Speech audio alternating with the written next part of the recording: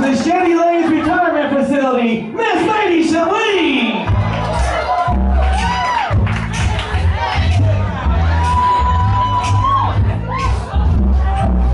Now I know how much I love you. Now